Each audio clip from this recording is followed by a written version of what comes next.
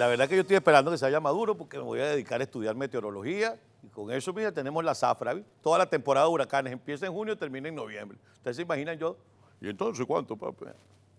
Vamos de inmediato a continuar nuestro recorrido por Venezuela y nos vamos al estado Anzuategui, donde está Jesús Albino con información de la zona oriental del país. Jesús, buenos días, el contacto es contigo.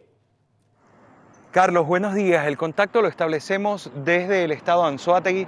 Vamos a mostrarles en imágenes cómo los venezolanos, a pesar de que las estaciones de servicio se encuentran eh, cerradas, eh, pues hacen colas desde días anteriores para poder surtir de combustible. Esto debido a la escasez que eh, se registra en este momento en, Venezuela.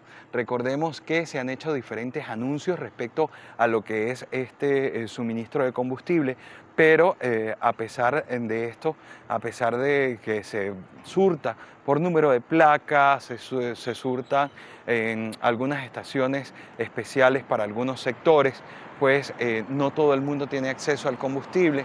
Pueden observar, eh, eh, esta cola tiene aproximadamente dos kilómetros de largo y son personas que desde el día anterior, a pesar de que la estación de servicio no está abierta, ellos desde el día anterior o desde días anteriores colocan sus vehículos en estos sitios para esperar a que llegue la gasolina, poder surtir de combustible y así eh, seguir eh, realizando sus actividades diarias.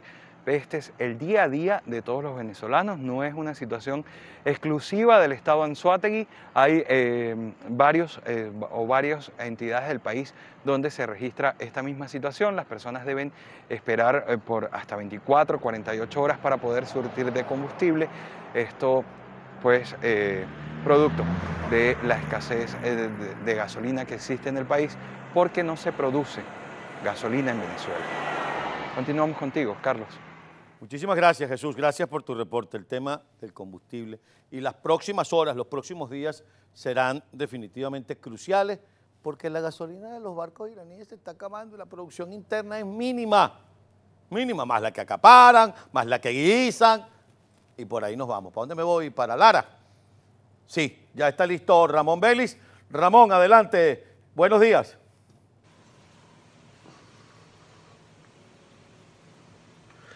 Hola Carlos, muy buenos días para usted, a las personas que a esta hora le sintonizan a través de la señal de EBTV Miami. Nosotros comenzamos este contacto desde la zona centro-occidental venezolana con una información que ha sido noticia en las últimas horas. Esta tiene que ver directamente con el pronunciamiento por parte del jefe de la zona operativa de defensa integral en este estado, el general de división Enrique Arocha, este funcionario del régimen de Nicolás Maduro ha dicho que en la última semana se han incrementado las fiestas en lugares eh, cerrados acá en la ciudad de Barquisimeto. Este tema pues se encuentra prohibido debido pues a la presencia de los casos de COVID-19 acá en este estado. Sin embargo, el funcionario manifestó que se ha desplegado una serie de operativos de seguridad y pide pues a la población denunciar cada uno de estos actos que se cometan pues en lugares acá en la región centro-occidental venezolana. Pues afirma, el funcionario afirmó que eh, la realización de este tipo de actividades sociales conlleva a que existan focos de coronavirus.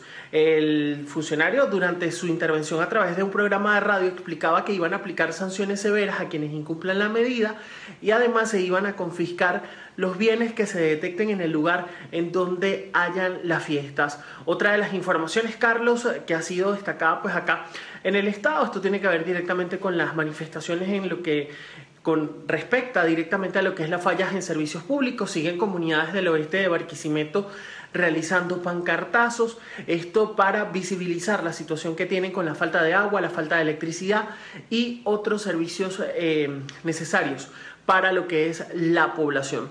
Estas han sido las informaciones destacadas en el estado de Lara en las últimas horas y estas y otras informaciones serán ampliadas en próximos contactos de EBTV. Por lo pronto retorno el contacto con usted a Miami, Carlos. Muchísimas gracias, Ramón. Pendiente entonces de tus reportes más adelante. Nos vamos al centro de Venezuela. En el estado Carabobo está nuestra corresponsal Ruth Lara Castillo desde Valencia, en el centro del país. Ruth, buenos días. Gracias Carlos, buen día para ti y para toda la audiencia. Este 31 de julio les informamos que autoridades nacionales reportaron 14 nuevos casos positivos de COVID-19 en la entidad. Ascienden a 244 las personas contagiadas en la región, cuatro fallecidos. El día de ayer Delcy Rodríguez reportaba una nueva víctima fatal. El alcalde del municipio Libertador, Juan Peroso, indicaba que se trata de un hombre de 58 años de edad, comerciante informal del mercado de mayoristas en esa localidad, quien además era paciente diabético e hipertenso. Por otra parte, les comentamos que los alcaldes en esta región han llamado a las personas a mantenerse en casa, a salir lo estrictamente necesario y a mantener los protocolos sanitarios para contener el COVID-19.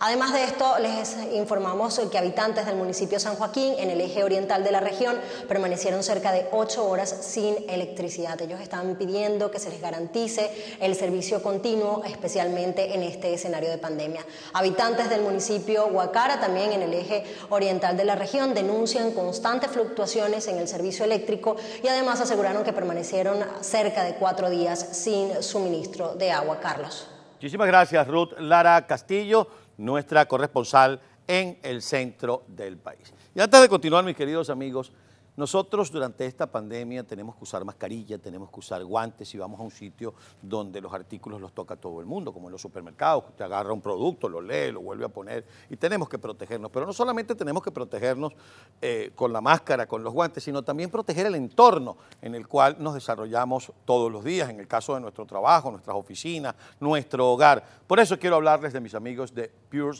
Prayer. Ahí tienen ustedes imágenes del trabajo que hacen de manera recurrente aquí. Por cierto, hoy vienen otra vez mis amigos de Pure Prayer para EBTV hacer este trabajo que hacemos de forma recurrente para mantener a nuestro entorno de trabajo completamente descontaminado del COVID-19 y de cualquier otra cosa, esas gripes y esas cosas que hay en esta época del año. Ellos tienen productos que no son para nada tóxicos, altamente confiables, altamente efectivos, se eliminan en un 99.9% virus y bacterias. Usted puede hacerlo en su hogar, usted puede hacerlo en su oficina. Usted también, por ejemplo, usted es médico y tiene un consultorio, un consultorio dental, eh, es abogado y lo visitan sus clientes por un tema de inmigración, por ejemplo. Usted puede llamar a mis amigos de Pure Sprayer y eh, puede obtener este servicio de primera línea con absoluta garantía, con absoluta, además, transparencia delante de todos ustedes. Ellos sacan los productos, le dicen, sálganse por 10 minutos, hacen el trabajo, esperamos 10 minutos y entramos sin ningún tipo de peligro, sin ningún tipo de riesgo. Lo que sí estamos seguros es que estamos trabajando y nos estamos desenvolviendo en un entorno absolutamente seguro. En estos tiempos es alta tecnología al servicio de su salud, al servicio de su protección. Puede escribirnos a info.puresprayer.com o llamarnos al 305-602-9002. Pure Sprayers alta tecnología al servicio de su salud y su protección. Ya venimos.